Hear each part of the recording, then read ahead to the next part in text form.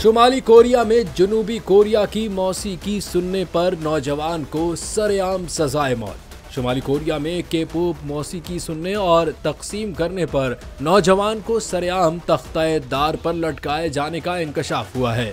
के पॉप और के ड्रामा से मुराद जनूबी कोरिया में तैयार होने वाली मौसीकी और फ़िल्में हैं, जिन्हें दुनिया भर में पसंद किया जाता है।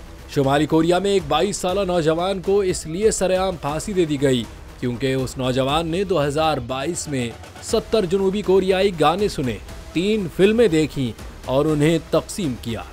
शुमाली कोरिया में 2020 में ये कानून नाफिज किया गया था, जिसके तहत जनूबी कोरिया में तैयार मवाद देखने या सुनने पर सख्त पाबंदी लगाई है। इस पाबंदी का मकसद शुमाली कोरियाई बाशिंदों को मगरबी असरात से बचाना है।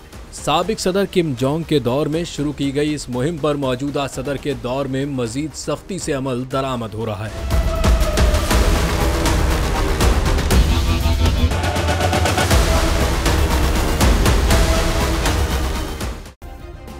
सब्सक्राइब करें और बेल दबाएँ ताकि कोई खबर रह न जाए।